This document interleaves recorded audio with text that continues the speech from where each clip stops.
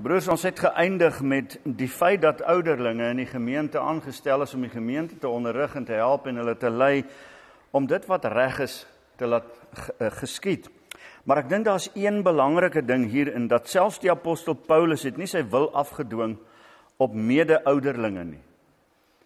Want in 1 Korintiërs 16 vers 12 skryf hy hierdie woorde en oor die broer Apollos ek het hom herhaaldelik versoek om saam met die broers na julle te gaan maar hy wil beslis nie nou gaan nie. Hy sal gaan wanneer dit vir hom geleë is.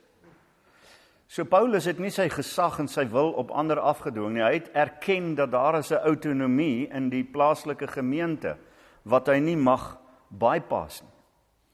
Kerkregering met spesifieke met spesifieke verwysing vind ons in Handelinge 15 en ek wil hê julle moet let op hierdie ding want hier moet ons duidelik onderskei waaroor dit gegaan het. Ons moet nie net sonder meer tot 'n konklusie kom nie. Hier is die interaanhanklikheid van gemeentes baie duidelik sigbaar in Handelinge 15. Die situasie was duidelik een van geen klein verskille, sê die skrif vir ons, wat plaasgevind het nie. En Paulus en Barnabas het hulle staan gestaan daar. Hulle was swaar gewigte in die teologie. In die verdediging van die genade van God en maar ook die gemeente eerbiedig. Is dit nie? Want hulle het met meerdere kennis beskik.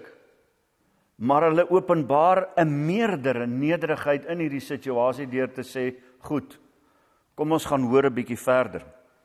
En hierdie was 'n teologiese vraagstuk en ek dink hulle nee, ek dink nie. Ek glo hulle het die onderskeiding hier gehad dat hierdie teologiese vraagstuk getoets moet word aan die ander apostels. Want aan die kern van hierdie vraagstuk waarmee hulle hier gehandel het, broers, was die hart van die evangelie.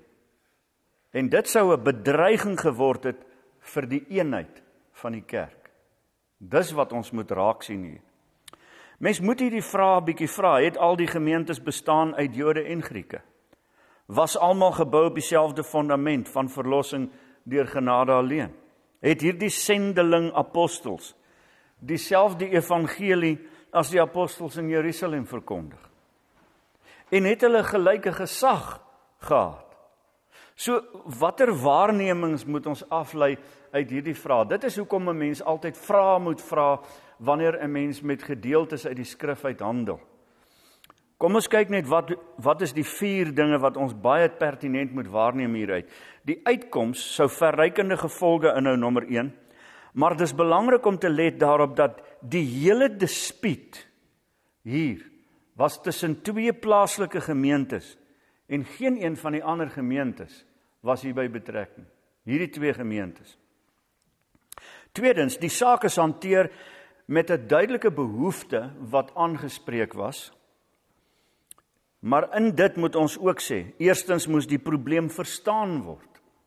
En tweedens moes daar geluister word na getuienis vanuit die geskiedenis en die skrif. En dit is hoekom Petrus dit kon sê. Ons is almal Jode mense. Ons kry dit nie eens reg en nou verwag julle van die heidene. So hy gebruik die geskiedenis agtergrond van die Joodse gelowiges. En derdens moes hulle tot 'n slotskom, slotsom kom. En daardie slotsom was nie hulle eie nie, maar die Heilige Gees. Want die uitspraak was duidelik, die Heilige Gees en ons het besluit. Nou die eenheid derdens is bevestig en vergesel met briewe en afgevaardigdes wat die uitkoms van hierdie dispuut wat bespreek is en opgelos is aan die gemeentes oor te dra. Maar let nou op, die laaste een wat ek wil noem en dit is die eindresultaat was die gevolg van die ouderlinge se besluite en nie die gemeente nie. Maar die gemeente het dit hardgrondig ondersteun. Wie het hierdie dispuut besleg? Die ouderlinge van die gemeentes. Maar die gemeentes het dit pertinent ondersteun. Waarom sê ons dit? Want hierdie goed is gekommunikeer aan die gemeentes. Dit is binne die plaaslike gemeente uitgetrap en daarom het die gemeentes dit goedgekeur. Wat is ons slotsom? 'n Ingeligte gemeente is 'n gelukkige gemeente. Punt. So, Kom ons ondersteun net hierdie ding vanuit die sentbriewe ook. Waarom kan ons sonder meer aanvaar dat die beginsel van autonomie gegeld het in al die plaaslike gemeentes? Die gemeentes het die beginsel van die direkte heerskappy van Jesus Christus aanvaar. Hy's die hoof van die kerk. Uh daar's geen aanduiding dat individuele gemeentes eksterne hulp gaan soek het in die hantering van interne probleme nie. Ons het geen aanduiding daarvan. Ons kan dit nie eens aflei nie. Wanneer die hoof Christus gepraat het, was dit genoeg. Punt. Morele gesag, met ander woorde, gesag wat die gewete voor God aanspreek binne sy gemeente is genoeg om die gemeente geestelik tot verantwoording te roep. Julle kan gaan lees in 2 Korintiërs 10 vers ehm um, 8 tot 13 in hierdie verband. Nou die apostolse gesag het op die geestelike uh vlak gelê. Nie op 'n afdwingbare diktatorskap nie. Let op hoe die apostels gewerk het. Geestelik, maar nie diktatorieel nie. Die apostels kon hulle egter met hulle apostoliese gesag die gemeentes waar hulle bedien het hulle gesag afdwing, maar hulle het nie. Hierdie apostels het vrylik beweeg tussen die gemeentes. Maar Paulus skryf juis aan die gemeente in Filippi waar hy vir hulle sê dieselfde gesindheid wat in Jesus was, moet in julle wees. Nou in hierdie verband is ek baie oortuig daarvan as jy Filippense 2 vers 15 5 tot 11 so aan die een kant sit en jy vat die gedeelte in in Johannes 13 en jy sit hom aan die ander kant, dan sien ons dat Paulus se begrip van daardie gebeure het hy toegepas hier in Filippense 2, want is dit nie wat gebeur het nie? Slaaf wat neerbuig in sy liefde en die voete van sy disippels was. Hy word 'n slaaf vir ons En dit is die gesindheid wat ons sien wat ons moet openbaar as ouderlinge binne die gemeente. Ek oortuig julle verstaan hierdie beginsel en ek dink Fila het dit in Fila se kind so mooi saamgevat. Seil Fila, seil soos 'n slang. Dis waar die ouderling se krag lê voor God en die gemeente. Nou let op dat wanneer die apostels aan die gemeente skryf, word die gelowiges of die geheiligdes in Christus aangespreek. Hy praat nie met die amptenarye nie, broers. En dis moet ons onderskei dat die selfbeskikking, die die autonomie, die onafhanklikheid van gemeentes was bloot net aanvaar as 'n Bybelse beginsel, as optrede. Ek wil enkele voorbeelde hieraan vir julle wys. Die verwydering van lidmate as gevolg van gruwelike sondes. Hulle het nie gewag op die koms van 'n apostel om dit te hanteer nie. Nog minder is dit verwys na 'n ander gemeente om arbitreër daar te kom optree. Paulus sê dit moet gedoen word 1 Korintiërs 5. Kwessies tussen gemeentelede is binne die gemeente hanteer en Paulus se gesprek met hulle is julle vat mekaar nie na die hof toe nie. Julle kry mos iemand in die gemeente om hierdie ding te besleg binne die gemeente. Hou dit in die gemeente, is in die familie. Derdens die aanwysing van afgevaardigdes om geld wat ingesamel te word word plaaslik bepaal 2 Korintiërs 8 vers 19 en aan die ander gaan oordra. Aanbevelingsbriewe wat deur die plaaslike gemeente voorsien is. En nie agentskappe nie. En Paulus sê dan juis julle die gemeente is my aanbevelingsbrief. So dan die bediening aan die arm gelowiges het vanuit die plaaslike gemeente gekom 2 Korintiërs 8 en 9. Alle besluite broers is dus uitsluitlik op plaaslike gemeentevlak geneem en dit het die gesag gedra. Nou die besluite van elke plaaslike gemeente wat gem, was gemaak vanuit hulle verhouding met God. Hier lê die lê dit aan die wortel aan die kern van ons optrede. Wat is God se wil in hierdie saak? Wat sê God se woord? So hulle oogmerke was baie duidelik die verheerliking van God. Hulle het begeer om Christus Jesus te weerspieël. Dis nie wat Paulus skryf in Filippense nie. Al wat ek wens is om hom te ken en die krag van sy opstanding en gemeenskap aan sy lyde tot ek gelyk is aan hom in sy dood. Nou as ons kom na die laaste deel in Handelinge, Paulus se reis na Rome en die einde van die eerste eeu, Handelinge 22 tot 28. Paulus bevind hom in die tronk, maar die gemeentes gaan aan. Hulle was ondersteun deur sy medewerkers, sy skrywers. Sy briewe reflekteer 'n duidelike verstaan dat Christus die hoof van die gemeente is. Let maar op wat hy skryf in Efese aan Efese, wat hy skryf in aan Kolossense. Hy skryf aan die gemeente van Efese in haar geestelike stryd teen die bose owerhede in die lig. Hy skryf aan die gemeente van Kolosse die uitdrukking dat Christus self die hoof oor alle owerhede en magte is. 2 vers 10. Hy sê Christus is die hoof van die kerk, Kolossense 1:18. Christus wat as hoof van sy kerk die gemeente ontwikkel en ondersteun en die spiere en sterk maak tot 'n volwasse mens in hom.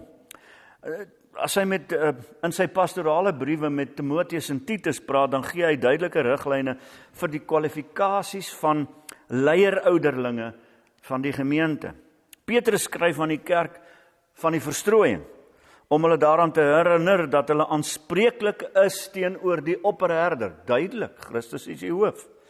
Selfs Johannes in sy derde sentbrief maak melding van Diotrefus wat homself skuldig gemaak het aan aanmatigende optrede en hoogmoed. En wat gebeur met sulke mense? Julle weet. Nou die hoogtepunt van autonomie vind ons egter in die sewe gemeentes van Openbaring. En hier is die klimaks. Let maar net op in die Ou Testament in die kontras met die menorah van Israel, die een enkele kandelaar met sy sewe ses takke en een in die middel van Israel. Maar hier is daar sewe enkelvoudige kandelare wat hy die gemeentes noem. En Jesus beweeg tussen hierdie sewe goue kandelare. En hy praat met elkeen van hierdie gemeentes afsonderlik individueel met hulle eie gebreke of voorkeure en wat ook al in hulle goeie dade of slegte dade in die konteks van die stad waarin hulle is. En hy spreek hulle daaraan. Hy sou nooit vir Smyrna gesê het gaan sê vir die engel in Bethel Baptiste Kerk, jy moet nou wakker word, Boeta. Hy praat met elkeen afsonderlik. Hy evalueer elkeen se lig in die lig van sy heerlike teenwoordigheid. En en wat sien ons daar? Elkeen is direk aanspreeklik teenoor hom. Hulle gesag word verleen van hom. Sy inspraak is relevant, maar verskillend vir elke gemeente. Nie een van hulle was dieselfde nie. Hulle ontvang afsonderlik hulle beloning of dissipline van hom. En dit staan buite alle twyfel met ander woorde dat slegs hy die kandelaar van sy staanplek kan verwyder. Nie die ander nie. So geen gemeente het die gesag ontvang om enige ander gemeente van fellowship te mag verwyder of vervreem nie. En ek wens ek het dit Saterdag daar vir Iwer hulle gesê. Ek wens ons kan net in die Afrikaanse Woordeboek hierdie een woord daar invoeg dat hy erkende Afrikaanse woord is fellowship. Want die woord gemeenskap laat my partykeer bietjie bloos. Nou ons mag dit nie doen nie. So Maar wat beteken dit broer? Hulp mag gevra word soos in Handelinge 15. Maar ten einde hou God elke gemeente afsonderlik aanspreeklik vir haar optrede. vir haar teologie. Maar hoe doen hy dit ook? Ek is interaanhanklik ook. En die feit dat hy hierdie gemeentes in 'n gegeewe geografiese gebied almal aanspreek en dat hierdie gemeente so aangespreek word as jy die Bybel gaan lees en as jy boek 67 van die Bybel gaan kyk maps dan sal jy sien daar hy gee vir jou duidelik 'n uiteensetting dat hierdie was op die destydse posroete hierdie gemeente is is aan mekaar verbind en hier is die waarheid van ons afleiding wel waarnemings eerder daar is nie 'n streekshoofkantoor met wie hy praat nie Jesus. Hy praat met sy gemeente. En hierdie briewe se relevantie met betrekking tot die autonomie kan nie sonder meer afgemaak word nie, broers. Jesus maak nie inbreuk op hulle privaatheid en hulle selfbeskikking nie. Maar as hoof van die gemeente wat hy met sy eie bloed verkry het. Sê hy by monde van die apostel Paulus, hou toesig. Pas op, vir Petrus sê hou toesig. Maar vir Paulus, pas die kudde wat God vir homself verkry deur sy eie bloed. Pas hulle op. Dis jou opdrag. Nou kom ons kyk net vlugtig na die autonomie in die post-apostoliese tydperk. Nou voor die einde van die eerste eeu kan jy jouself indink, daar's duisende gemeentes. Eh, en die apostels is omtrent almal uit en hulle medewerkers duisende van hulle het toegeneem. Almal was selfstandig en het omgesien na hulle eie sake. Dit was letterlik 'n uh, eh, eilande in 'n oseaan van goddeloosheid wat die gemeentes verteenwoordig het daar. Elkeen van hulle gelei deur ouderlinge. Dan kom Ireneus. En hy begin praat voor die draai van die eerste eeu al. Begin hy praat en sê maar daar moet 'n biskop wees wat toesig hou oor hierdie gemeentes. Want wie's die spreek spreekbuis teologies? En dadelik begin ons hier agterkom dat hier begin wegbeweeg word van die Bybelse patroon en dit beweeg na 'n sentralisering.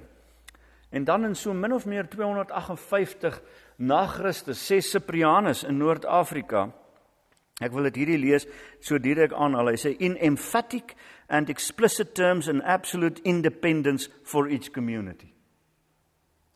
Want hy het gesien hierdie sentralisering lei tot die verbrokkeling en verwarring binne gemeentes en dit is die uitspraak wat hy maak. Hy sê omdat die geneigtheid definitief in die rigting beweeg van 'n groter beheerende struktuur met die erkenning van die kerk later deur die staat 313 word hierdie beheerende struktuur alles afgedwing op die plaaslike gemeente wêreldwyd.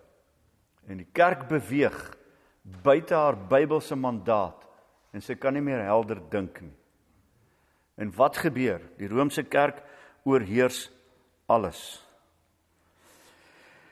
Broers, hierdie hierdie goed is so so belangrik wat ek dat ek en jy dit moet raak sien. Ekskuus, ek het nou net my plek hier verloor. Ehm um, bladsy 36 ja. Nee, ek's nog nie daar nie. Daar is net 52, maar ek's nog nie daar nie. Ehm um, Maar gedurende die 5de en die 6de eeu is daar iets baie interessant wat gebeur. En dit is van waarde vir ons om ook die geskiedenis te bekyk en waarom hierdie dinge gebeur het is omdat mense teruggegryp het na die skrif in hierdie verband. Eh, eh, die kerk was verdeel in in in drie groeperinge in die 5de en 6de eeu. Die kerk in die ooste met Konstantinopel, die kerk in die weste met Rome en dan was daar die kerk in die noordweste met Ierland. Hulle het 'n verskriklike bydrae tot die kerk gemaak in hierdie tydperk. Ehm um, die kerk in hierdie streke het bestaan uit in in noordweste van die wêreld uit 'n groep plaaslike gemeentes. Elkeen afsonderlik autonoom maar 'n noue gemeenskap met elke ander gemeente. En die herkoms van hierdie gesindheid was duidelik apostolies van aard, Bybels van aard. Maar Rome het ten alle koste hierdie ding onderdruk. En die kerk is vir bykans 1000 jaar hiermee onderdruk. Daar was konsilies en vergaderings, maar kom ons kyk na alternatiewe modelle. Ek skakel 'n klomp goed hier uit sodat Ek sal die notas vir julle beskikbaar stel vir die wat dit wil hê. Die alternatiewe modelle en en hulle uitdagings. Die groter wordende soeke na sentralisering. Ons het almal opinies oor oor die hoe die kerk moes funksioneer en met mekaar interaksie moet hê. Das as niks verkeerd om jou eie opinie van hierdie goede te hê nie, maar ek dink uiteindelik moet ons bly by die by die model wat die Bybel vir ons bied. En assosiasies is seker een model. Eenders denkende kerke kom bymekaar. Maar dit gee gou aanleiding tot rade, federasies en uiteindelik denominasies. En as jy nou skrik as ek die woord federasie hier noem, hierdie goed het ek alles nagevors. So ek het glad nie verwys nie. Ek het gister vir die eerste keer gehoor dat die ABK is nou 'n federasie. Julle sien, dit dit betaal nie om so lank weg te bly nie, nê. Nee. Nou het ek ook al iets geleer weer. Nou die gedagtegang wat hier ontwikkel word word dikwels die leerstelling van ontwikkeling genoem. En by ontwikkeling moet ons verstaan dat groei gee aanleiding tot verfyning van ons beginsels. Daar's niks meer verkeerd nie. Want die apostoliese geloofsbelijdenis was kort. Ek glo in die Heilige Gees. Maar vandag kan ek nie meer net vir jou sê ek glo in die Heilige Gees nie. Daar's ander paras wat ook sê ek glo in die Heilige Gees. En hulle het verskeidelde agendas en verwronge idees van wie die Heilige Gees is en hoe hy werk. So dit moet verfyn word. Hierdie beginsel begin kort en dan word hy breër gemaak met verloop van tyd. Maar hierdie ontwikkel ontwikkeling broers lei altyd tot 'n kompleksiteit. En dan word die kerk 'n komplekse organisasie in plaas van 'n lewende organisme. Hoe vind ons dus met ander woorde ons pad terug? Dis die vraag. Dan is daar die ander model van protestante ehm uh, denominasies. Elke protestante denominasie het haar eie redes vir wat sy glo en handhaaf. Ons interfereer nie daaroor nie. Dis hoekom ek altyd sê ek preek nooit teen ander geloofgenootskappe nie want die tyd is nie daarvoor ingeruim nie. Die Here Jesus is aan die kom. As ek nou tyd gaan afstaan om 'n ander ou aan te val, het ek dalk tyd verloor vir iemand wat hier sit wat die evangelie moet hoor. Ons opdrag gespreek die evangelie, jou aantydig en ontydig, nê. Nee. Maar ek moet ook onthou dat die plaaslike gemeente is nie groter as die universele geheel nie. En as baptiste het ons nie hierdie ding, hierdie proses misgeloop nie, broers. Vir baptiste het hierdie artikel van die gemeentelike beginsel of die gemeentelike regering gelei tot die vorming van konferensies, assosiasies met noukeurige lidmaatskap, so beheer en bestuur dat daar in baie gevalle nie meer sprake is van autonome gemeentes nie. Ons moet oppas vir dit. Die krag van die ABK lê in die individuele gemeente wat haar interaanhanklikheid teenoor die breëre liggaam ten sterkste uitleef. Ons is nie eilande nie. Ons isoleer nie. Nou tereg het iemand opgemerk dat daar dat die strate van stede en dorpe besaai is binne die kerk van Jesus wat die name dra van Christus se Christenleiers Wesley, Calvin, Arminius of van forme van kerkregerings, presbiteriaans, baptis, van spesifieke leerstellings, baptiste of geografiese gebiede soos Engeland, anglikane. Met 'n menigte van ander kleiner liggame wat tot stand gekom het as gevolg van protes. En hierdie protesbroers is baie keer 'n protes deur die Heilige Gees omdat gemeentes wegbeweeg van haar Bybelse mandaat. Sommige skrifwaarhede is of verdraai of ontken. Maar let 'n bietjie op dat die vroeë kerk was bymekaar gehou deur hulle lojaliteit aan die fundamentele skrifwaarhede. Maar hulle het hulle doelbewus daarvan weerhou om geetiketeer te word. Hulle het nie gepraat van Athanasius, die swart dwerg uit Noord-Afrika wat letterlik die kerk deur God se genade gered het van 'n gewisse dood van arianisme anders was ons vandag almal Jehova getuies. En dit is die dit is die kern van die probleem. Maar hulle het nooit gesê ek is in Athanasius se kerk of van Athanasius se oorsprong nie. Broers, ons moet oppas vir hierdie ding. Dan is daar die onderliggende probleem. Die geboorte van die kerk het met 'n soort geen autonomie onder leiding van die apostels begin.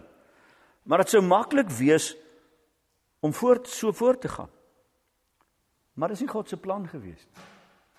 Want met die soos die apostels uitgesterf het, het Paulus se wysheid deur die Heilige Gees na vore getree om ouderlinge aan te stel, nê. Nee. En hierdie was nie 'n wegbeweeg van die autonomie nie en van selfbeskikking van die gemeente. By die blote lees van die briewe is daar is daar nie eers 'n sprankie van verwysing na 'n groter liggaam wat gesag uitgeoefen het oor die plaaslike gemeente nie. So ons sal dit nêrens vind nie. So op die keper beskou moet ons sê dat ons kan argumenteer dat die apostels al die kansse in die wêreld gehad het om 'n sentraliserende hoofkantoor te gehad het waarby hulle byeengekom het. maar hulle het nie. En dis die Bybelse model. Hulle vryheid in Christus. Hulle afhanklikheid van die hoof van die kerk, Jesus Christus die Here, was te belangrik hiervoor gewees. Let maar net op hoe verskriklik die verskil tussen ehm um, eenheid en verdeeldheid is. Paulus praat daaroor in Efesiërs 4 vers 1 tot 3 om die eenheid binne die gemeente te bewaar.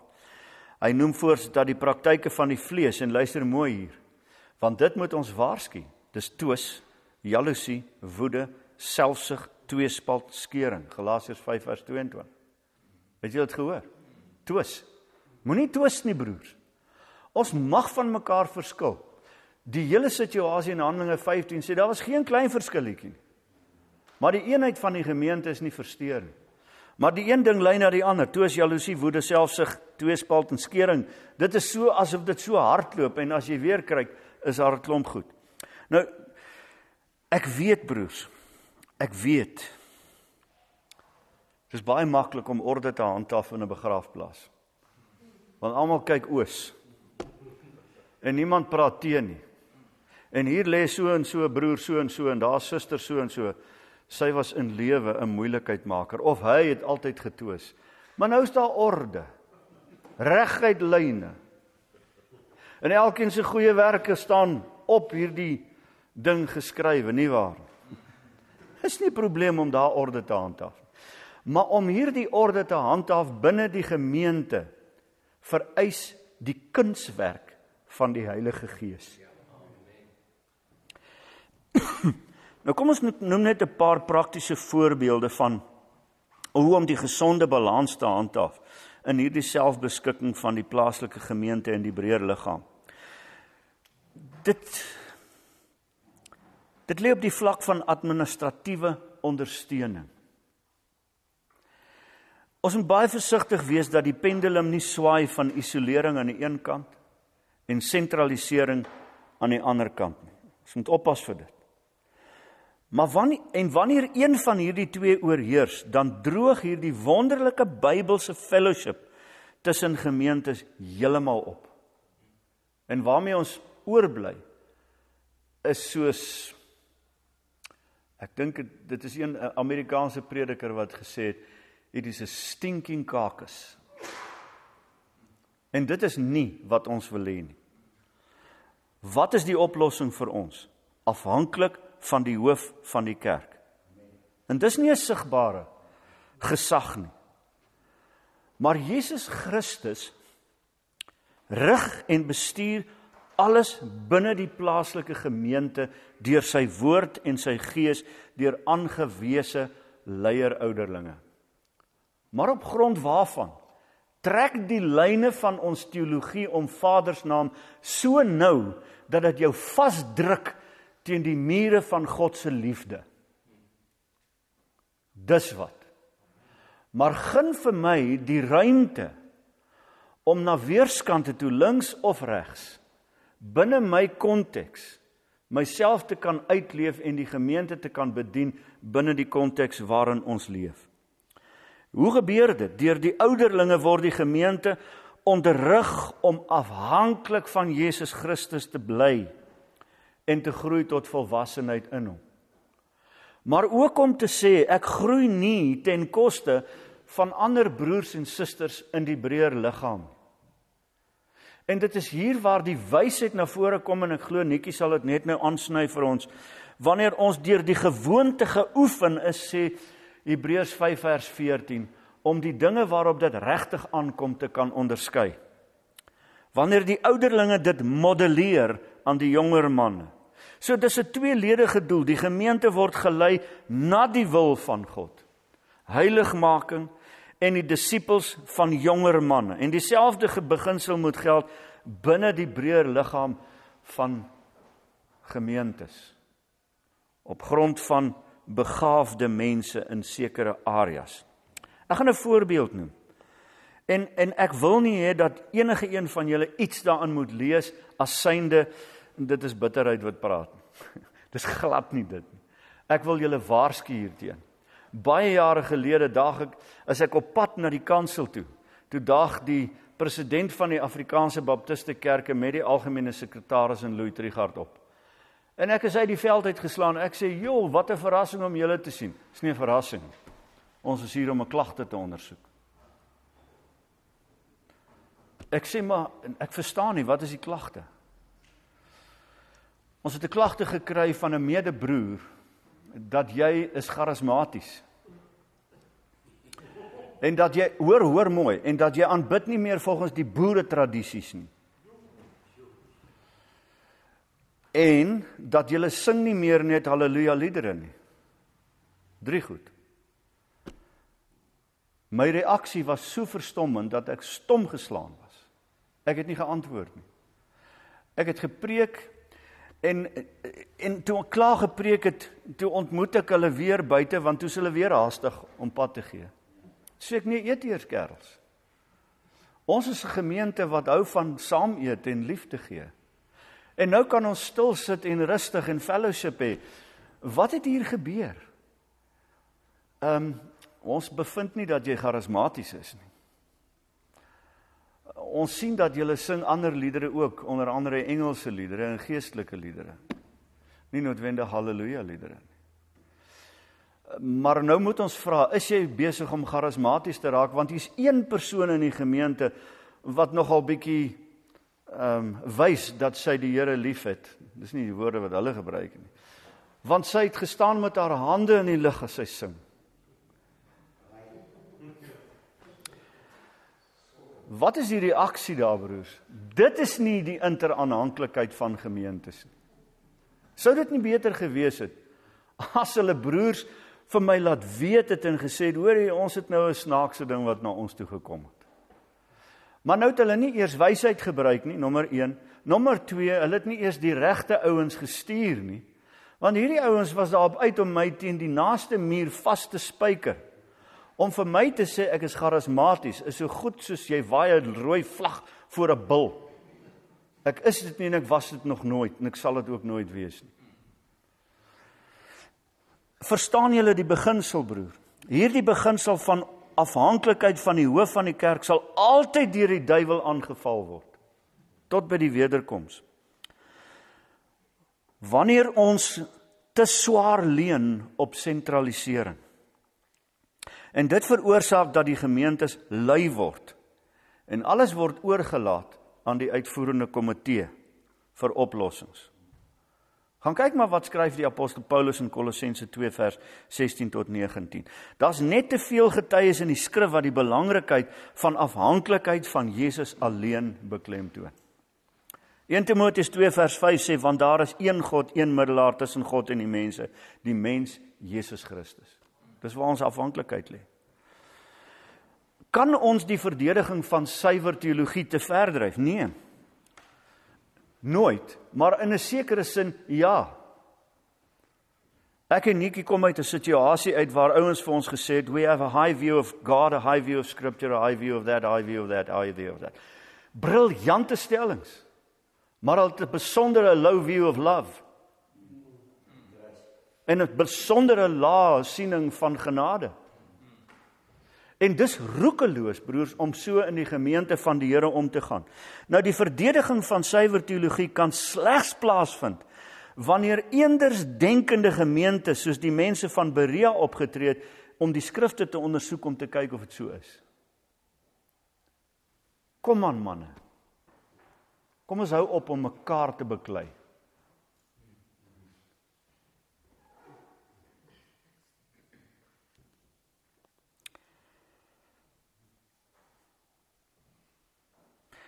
Die van julle wat bietjie redelik belese is, sal agterkom dat die Southern Baptist Convention vind hulle self op hierdie oomblik in wat 'n mens noem 'n vetkrisis. Ja.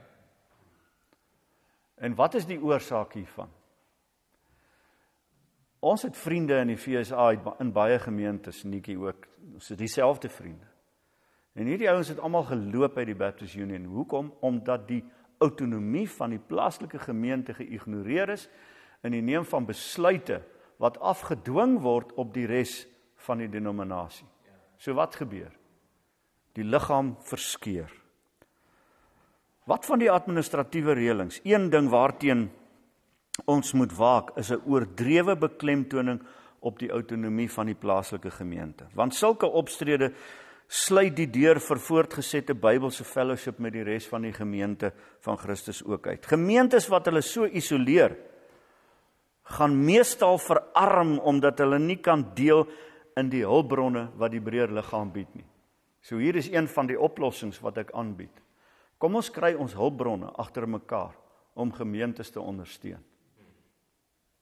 Ek weet dit vra harde werk, maar hier's hoeveel van julle wat hier sit en almal van ons kan saampoel om een gemeenskaplike hulpbron drom of tank te maak dat ons mekaar kan ondersteun. Daar's die hulpbronne in die vorm van manne. Die uitvoerende komitee hoef nie altyd na elke situasie te gaan nie, maar die uitvoerende komitee kan 'n lid van die uitvoerende komitee stuur. Maar kyk in die breër liggaam na wie het die gawe van dit dat en die ander om 'n situasie te gaan aanspreek. En dis waarom daar 'n meervoudige ouderlinge struktuur die beste teenvoeter is teen vals lering. Manne wat tyd saam spandeer in die besteding van God se woord sal dadelik weet wat om te doen. Ehm um, hier hier kom ons by 'n baie belangrike ding. Ons ken al hierdie uitdrukkings. Die autonomie van die plaaslike gemeente word dikwels die kleed vir 'n onbeheerste wil. Hoor bietjie, het jy al hierdie woorde gehoor? Geen buitenstaander sal vir ons vertel wat om hier te doen. Dan gaan hy verder.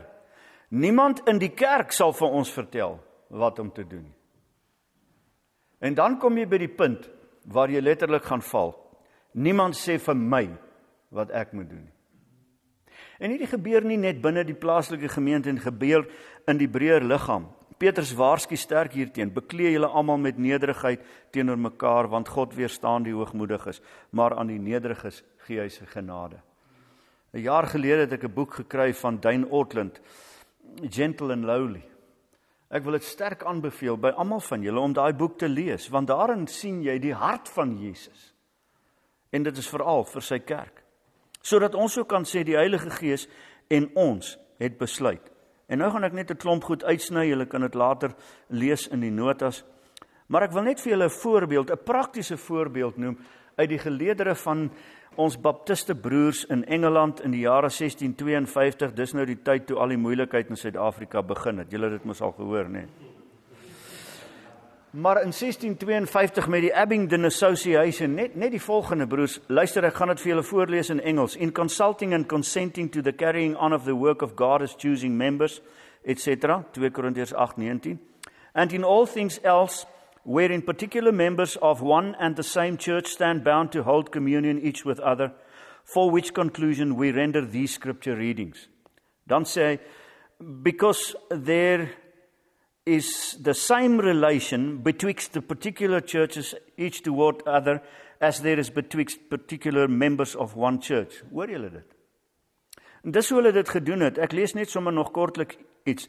From that which is main ground for particular church communion to keep each other pure and to clear the profession of the gospel from scandal which cannot be done.